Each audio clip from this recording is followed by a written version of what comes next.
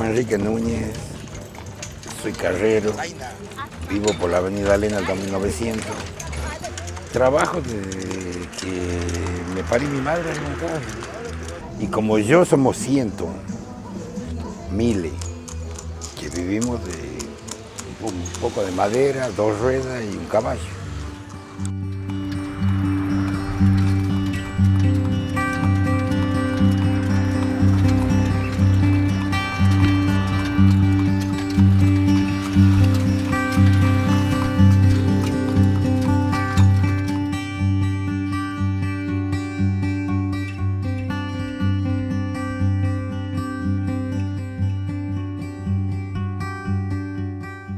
No todo, porque no son todos, pero hay muchos que tienen mal concepto de nosotros. Tan solo porque somos carreros. Mi nombre es Raúl Ariel Santucho, tengo 38 años, vivo en Francisco de Aguirre 2600 y soy carrero hace 16 años. Yo vivo de esto y, y mantengo mi familia de esto. Nosotros con un carro sobrevivimos, con un carro vivimos, vivimos honradamente, nos robamos, solo trabajamos. Y bien, el vida del carrero es mucho sacrificio. Uno puede tener un accidente. Yo mismo he tenido un accidente ya hace cuatro años, me he chocado y falleció mi cuñado.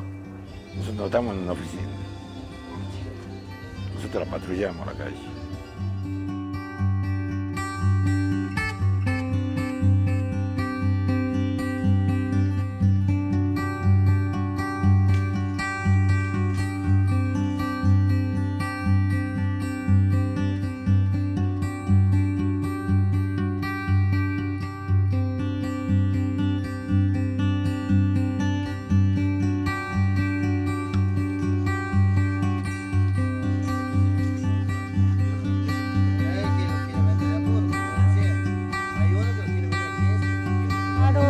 Cuando fue el primer secuestro de los carros en noviembre del 2015 y me pidieron que los acompañe. Desde ahí venimos acompañando a los carreros.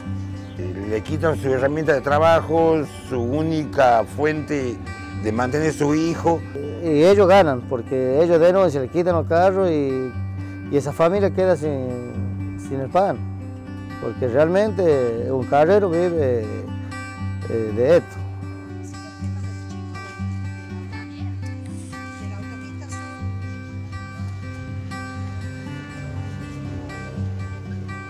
Para mí el animal es mi hijo más, porque él es mi compañero, él me lleva, me trae, si yo no tuviera él, este, no sobreviviría tampoco.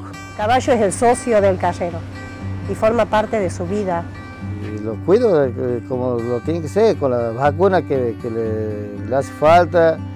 Eh, si están enfermos, no lo hago trabajar, voy al veterinario para que me recete qué le, qué le puedo poner para que se componga, es como, como, una, como un ser humano. Ellos dicen maltrato, que lo tenemos flaco, etcétera, etcétera. No es así. Si no te dejan trabajar, se te desnutren los hijos, se te desnutre la mujer, te desnutre vos, baja el caballo, baja todo. Están estigmatizados y la gente es muy prejuiciosa. Ven el carrero y dicen son personas violentas, son chorros, son los que tiran la basura a la calle y no. Ellos son recolectores de residuos sólidos urbanos. Si bien es cierto, ellos son calleros, su profesión es de callero, o sea, no, no, no hay que desconocerlo, pero hay que empezar a jerarquizarlos un poco.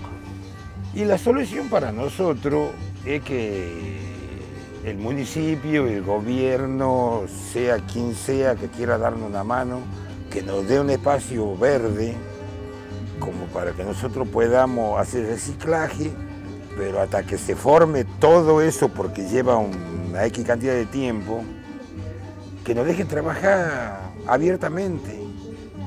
La solución es sentarse y buscarle cuál va a ser la manera que ellos mejoren su calidad de vida. Ellos no están pidiendo nada gratis, están pidiendo que se formalice el trabajo que ellos ya vienen haciendo de años. Porque ellos trabajan en negro, ellos no tienen obra social, no tienen nada, porque esa es la realidad, no tienen nada. Se sentimos abandonados, desprotegidos de todo. La propuesta que hacemos es que se haga algo paulatino, que sea una entrega voluntaria de los caballos y que empecemos a, cambiar y a hacer lo que ellos este, mejoren su calidad de vida desde lo que saben hacer. Si yo el día de mañana me tengo que morir, bueno, me moriría arriba de un carro, porque yo me creo con eso. Y es mi vida y toda la vida he hecho este trabajo y, y amo los animales, que... ¿Cómo se llaman Eh, Valentín y Fabián.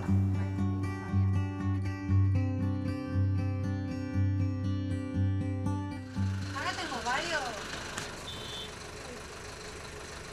varios compañeros que me han criticado cuando me han dado el coche cero. Soy.